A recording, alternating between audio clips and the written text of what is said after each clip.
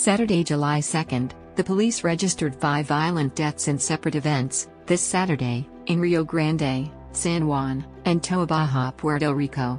The 911 emergency system alerted police to gunshots fired on Parque Sur Street in Toa Baja. Upon arriving at the scene, agents came across a triple murder. A woman and two men were shot to death inside a car. A 2017 red Toyota Yaris was found at the scene. Inside were the lifeless bodies of the three people. The woman was driving, while one of the men was a passenger, and the other in the back seat. Commander Jose Arocho, Deputy Director of Police Criminal Investigations, explained to the media. The three deceased, according to the officer, had multiple bullet wounds. The car had over 100 bullet holes. What the scene shows us is that the shooters were possibly people on foot.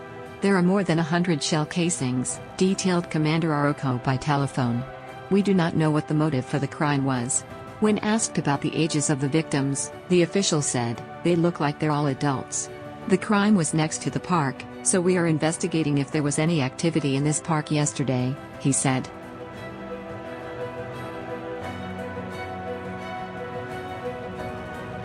Another violent death was recorded early Saturday morning, in Rio Grande, Puerto Rico, the police reported.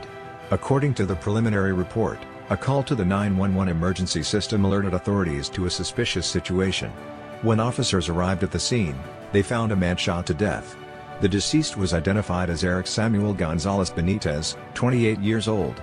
Agents attached to the Homicide Division of the Criminal Investigation Corps of Fajardo, together with prosecutor Juan Serrano, are investigating these events. A third case was recorded at 1:02 a.m. Saturday on Roberto Sanchez Vilella Avenue in Rio Piedras, in San Juan. At the scene, the authorities found a burning car, and when they extinguished the fire, they found a charred body inside. The death was classified as violent, and it is still unknown how the events occurred. The victim has also not been identified. According to the police, with these five violent deaths, the total number of murders reported so far this year increased to 297, two cases less than those reported for the same date last year. Also last Saturday, the police investigated the violent death of a young man, identified as Michael Y. Martinez Rodriguez, 19 years old, and a resident of Salinas, Puerto Rico, which occurred in front of the Brisas Del Mar residential complex. According to the preliminary report, the murder was reported at 9.47 p.m. A call through the 911 emergency system alerted the police to several gunshots that were heard at the scene. When the agents arrived, they were told that the victim was transported to the Surmed hospital in the same municipality. After the victim arrived, Dr. Baez certified his death. The deceased had gunshot wounds to various parts of the body. July 3, two young people were shot to death at around 10:30 p.m. Sunday in front of a residence on Andres Arce Street, in Carolina.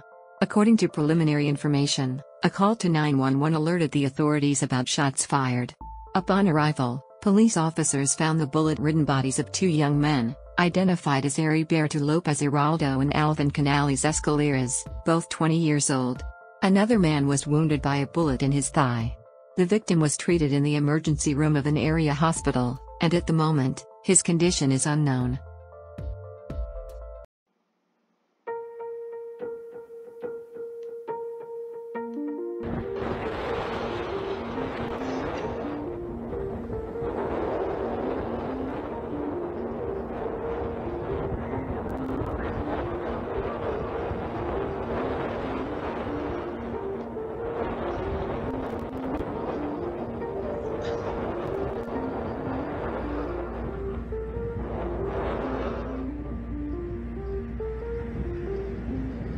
Severe weather dominated the news this 4th of July weekend, as the long-running drought was ended by torrential rains.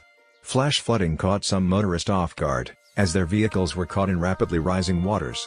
A few homes were swamped by rising creeks and streams. The El Yunque rainforest revealed nature's force and beauty, as the waterfalls raged from the downpours.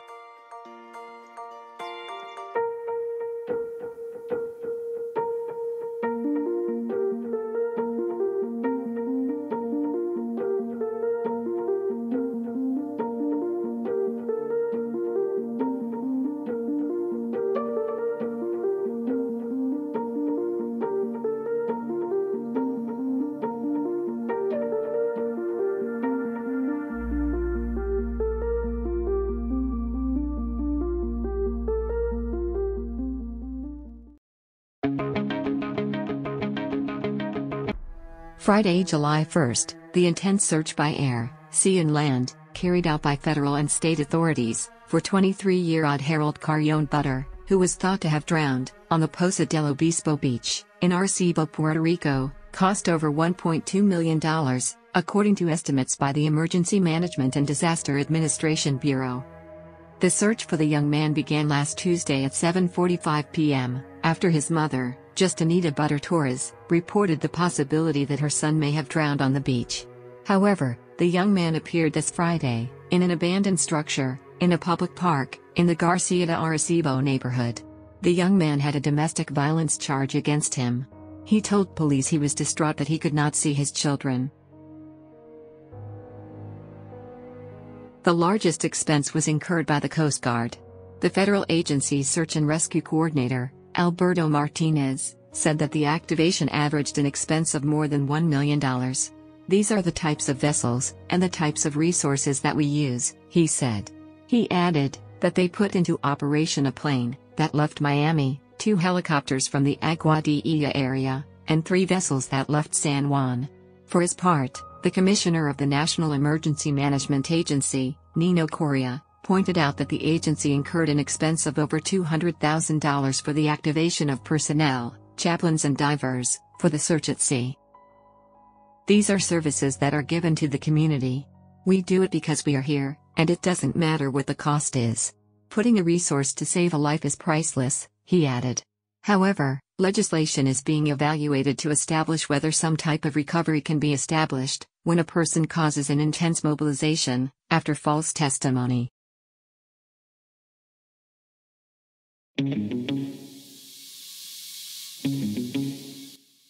July 2nd, agents of the police department captured one of the most wanted in Caguas, Puerto Rico, Saturday. Jean-Pierre Santiago Rios, is charged with murder, and violations of the arms law. Bail was set at $2.5 million. Agent Omar Marrero, from the Hato Rey Command Press Office, stated the crimes imputed to Jean-Pierre Santiago Rios, occurred on February 27, 2020 in a business, in Gurabo, Puerto Rico. The preliminary report maintains that Santiago Rios was in a Rincon liquor store, and, for unknown reasons, murdered Oscar Perez Picorelli with a firearm.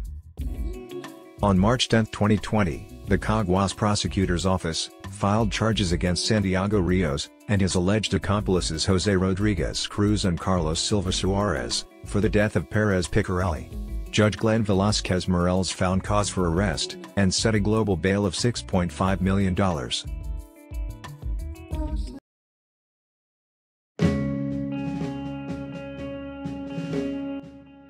Wednesday, June 29, an agent of the Department of Justice was accused of sexually assaulting a young woman of legal age, who, according to information provided by the agency, was the girlfriend of her partner's son.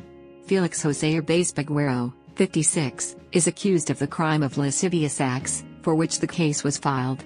The man was released on a supervised release. Judge Rafael J. Pere, of the Bayamon Court, found cause for his arrest, and set a $20,000 bail. Presently, the accused remains under electronic supervision, until July 14, when the preliminary hearing will be held.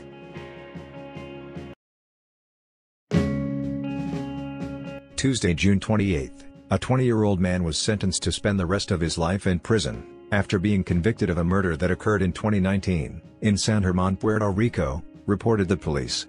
Mayagüez court found Jethson Rosario Martinez, guilty on charges of first-degree murder, attempted murder, and violations of the arms law.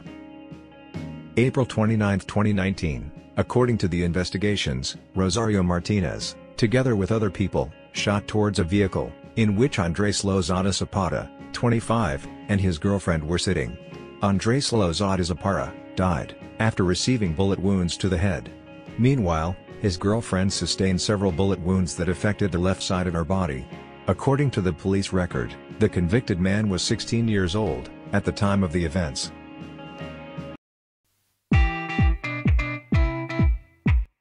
Sunday, July 3, singer Ricky Martin has rejected as completely false allegations from an unnamed individual that led to Puerto Rican authorities issuing a restraining order against him under the U.S. territory's domestic violence laws. According to Puerto Rican newspaper, El Vocero, the unnamed petitioner went to the court directly, without filing a police complaint, after ending a seven-month relationship with Martin. The newspaper cited a court document as saying, Martin, who's been married to husband Jwan Yosef since 2017, had refused to accept the petitioner's decision to break up.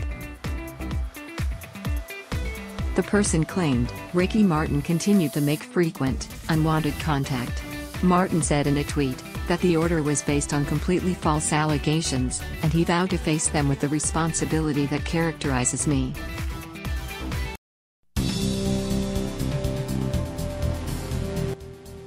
Monday, July 4, the government of Puerto Rico called for equal rights, through the annexation of the island with the United States, in the municipality of Cataño, this weekend. As part of the activities, in commemoration of July 4, Governor Pedro Pierluisi proclaimed in a speech, the need for equality for all Puerto Ricans, living on the island. For 123 years the American flag has flown on our land, and for 105 years we have been American citizens. And, since then, we are immersed in the fight for full democracy, he pointed out. I have highlighted that brothers and sisters have contributed, and continue to contribute to the United States, where more than 5 million Puerto Ricans reside. The most important contribution, however, are the men and women who wear, and wore the uniform of the United States Armed Forces.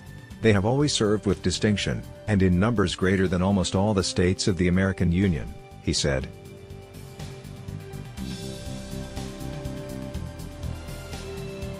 On June 27, 2018, the Puerto Rico Admission Act of 2018 was introduced in the U.S. House, with the purpose of responding to, and complying with, the democratic will of the United States citizens residing in Puerto Rico, who voted 61% for statehood on November 6, 2012, and June 11, 2017, by setting forth the terms for the admission of the territory of Puerto Rico as a state of the Union. The Admission Act has 37 original co-sponsors between Republicans and Democrats, in the U.S. House of Representatives.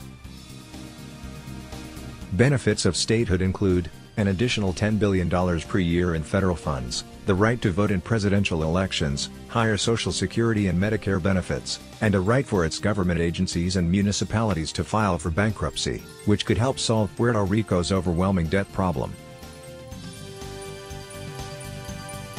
Some disadvantages of statehood could be, paying federal taxes, as Puerto Rico already has high territorial and sales tax, statistics will be altered, as Puerto Rico has 41% poverty rate, compared to US 13%, Puerto Rico will no longer have separate representation at the Olympics, Puerto Rico will become an English-speaking state, and Puerto Rico may become a blue or democratic state, and a threat to the GOP strongholds. The bill was introduced on March 16, 2021. After being introduced, the bill was sent to the Senate parliamentarian who assigned it to a specific committee, for further deliberation. The Speaker of the House may set time limits on committees. Bills are placed on the calendar of the committee, to which they have been assigned. Failure to act on a bill is equivalent to killing it. Bills in the House can only be released from committee without a proper committee vote, by a discharge petition signed by a majority of the House membership, 218 members. Puerto Rico Statehood Admission Act is presently stalled in committee. Puerto Rico continues to spend millions of dollars every year lobbying for statehood. Wednesday, July 1st, in 24 months from now, the sale and use of single-use plastics will be prohibited in Puerto Rico.